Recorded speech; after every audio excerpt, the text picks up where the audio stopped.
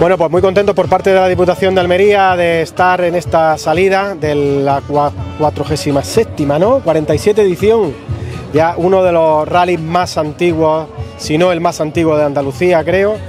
Y nada, por parte de Diputación, pues encantados de seguir colaborando con este tipo de eventos que llegan a hacer provincia, que consiguen unir a numerosos municipios.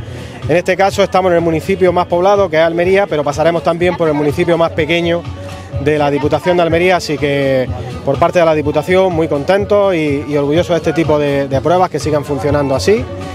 Y nada, que, que todo salga bien, el deseo que tenemos es que todo salga bien, que todos los pilotos se vayan contentos y por nuestra parte, nada, animarles a todos a que vean durante el día de hoy y mañana esta fantástica prueba.